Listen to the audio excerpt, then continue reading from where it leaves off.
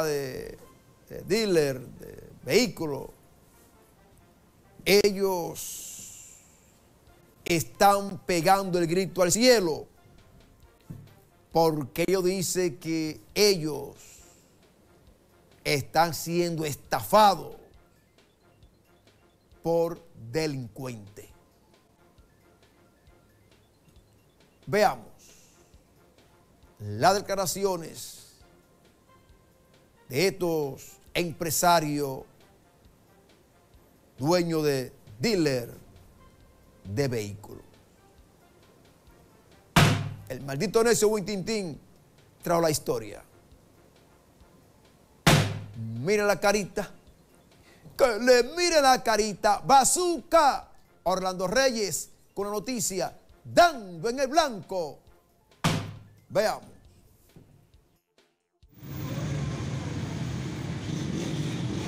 Líder, la visita de ustedes a quien denuncia y cree, ¿a qué se debe? Bueno, nosotros hemos venido ya en varias ocasiones, estamos representando un grupo de personas que hemos sido estafados por unos malhechores que se dedican al robo de motores eh, por medio de internet, eh, por medio de publicaciones. Ellos mandan unos delincuentes, van, eh, es un tema ya conocido, pero estos jóvenes van dispuestos a cualquier cosa. Después que ellos, usted ya este, ellos lo sectorizaron a usted, ellos le van a llevar el motor como sea.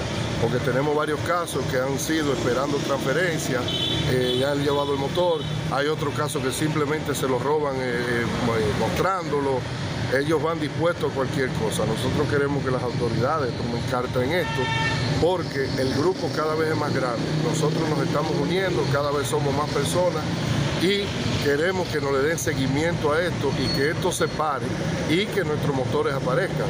Eh, en algunos casos dicen que lo decomisan, lo pican, como dicen, en otros casos se lo llevan fuera de la ciudad.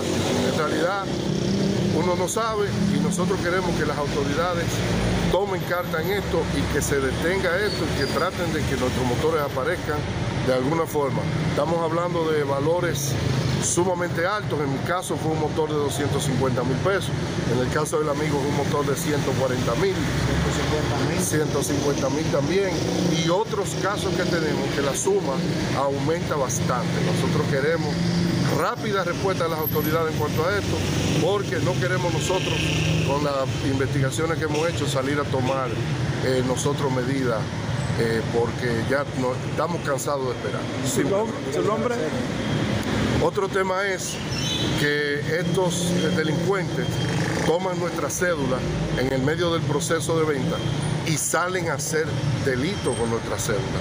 O sea, nosotros todos estamos en una situación que no sabemos si, estamos, si tenemos denuncia. Bien, ahí están los afectados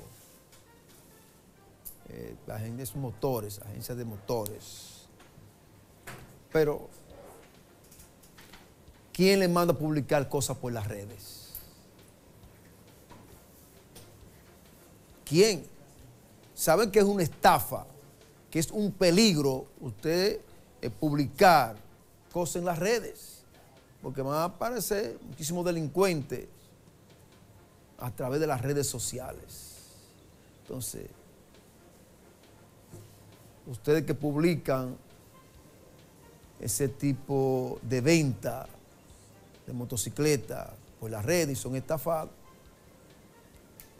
ustedes realmente saben la situación.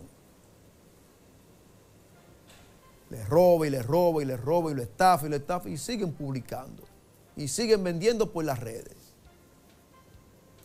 Eso es así. Bien. Voy a la pausa y cuando regrese, atención, los premios de la rifa se salvó mamá. El segundo y el tercero. Ya se sacaron el primero. Vamos a continuar con el segundo y el tercer premio. Atento, ¿eh? ya lo saben. Después de la pausa venimos con esta rifa. ¿De acuerdo?